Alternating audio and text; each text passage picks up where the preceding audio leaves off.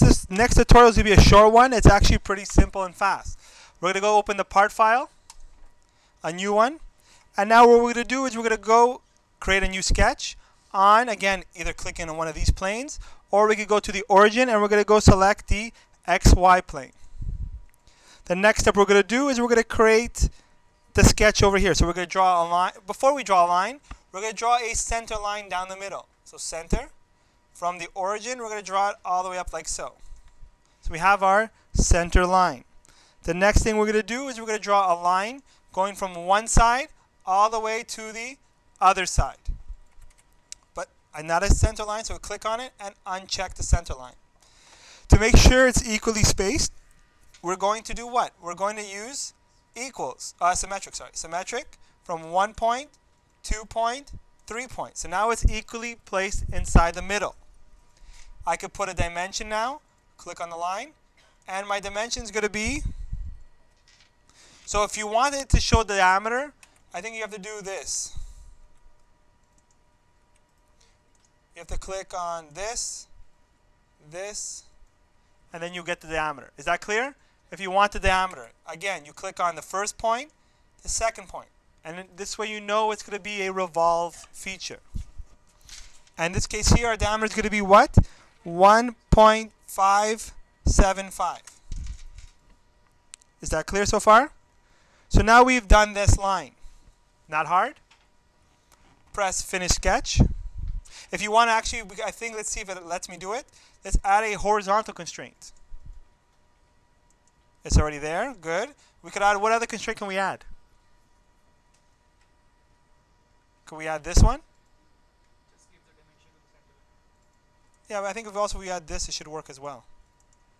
No, let's add that, like you said. We don't have to always fully dimension it like this. Just leave it like that. We're not going to fully dimension it. Okay, now we're going to go and do finish sketch. And we have this lovely little line. We're going to go use our coil option under the create.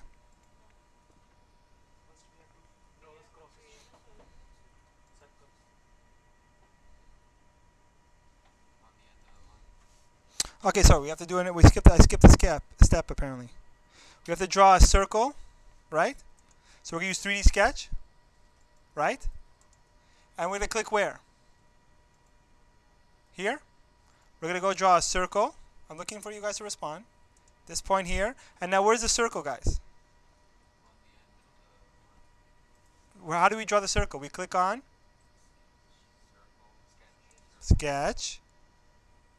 3D sketch. What the hell, sketch?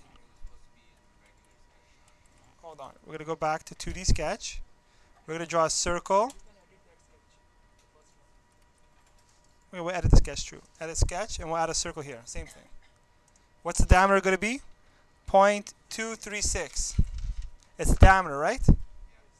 So, right click, diameter, 0.236.